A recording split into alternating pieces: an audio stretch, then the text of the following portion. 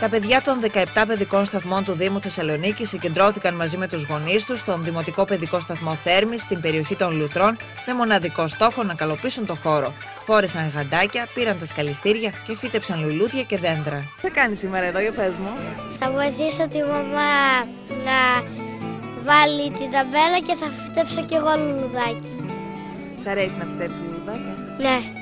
Στο σπίτι έχετε λουλουδάκια; Ε, ναι. Τα προσέχεις; Τι κάνεις, τα ποτίζεις, τι κάνεις; Τα ποτίζω. Για το περιβάλλον τι ξέρεις, θέλεις να μου πεις; Ε, ότι πρέπει να φροντίζουμε τα λούδια, να τα ποτίζουμε και να μην τα χαλάμε.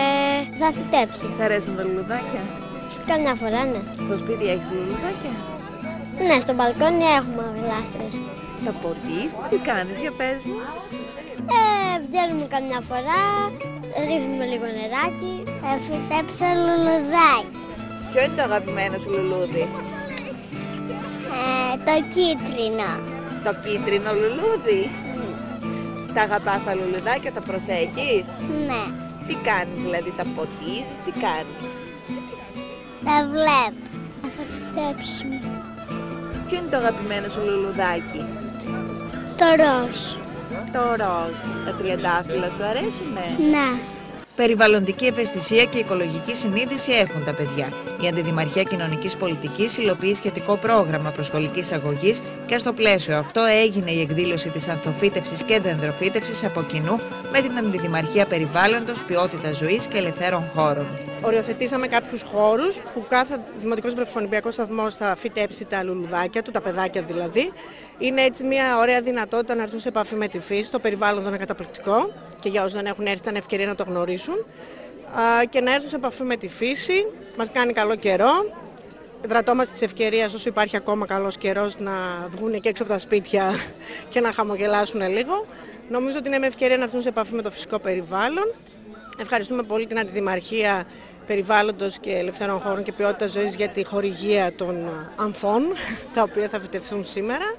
Και επίσης θέλω να πω ότι με αυτόν τον τρόπο έτσι μέσα σε όλο αυτό το ζωφερό κλίμα των ημερών είναι μια ευκαιρία να ξεφύγουμε λίγο από τα καθημερινά μας προβλήματα και θέματα. Τα ίδια τα παιδιά παίρνουν το πράσινο στα χέρια τους, φυτεύουν και μαθαίνουν να αγαπάνε το πράσινο και να είναι και αυτοί μαζί μας ε, στο σύνθημα που έχουμε ότι το πράσινο και η ποιότητα ζωής είναι υπόθεση όλων μας.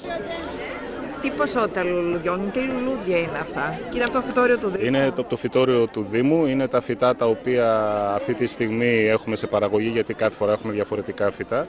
Δόθηκαν αυτά σε αυτή την περίοδο και πιστεύω ότι σύντομα θα έχουμε δυνατότητα να αξιοποιήσουμε και καλύτερα αυτό το χώρο και με φυτά και με άλλες πρωτοβουλίες.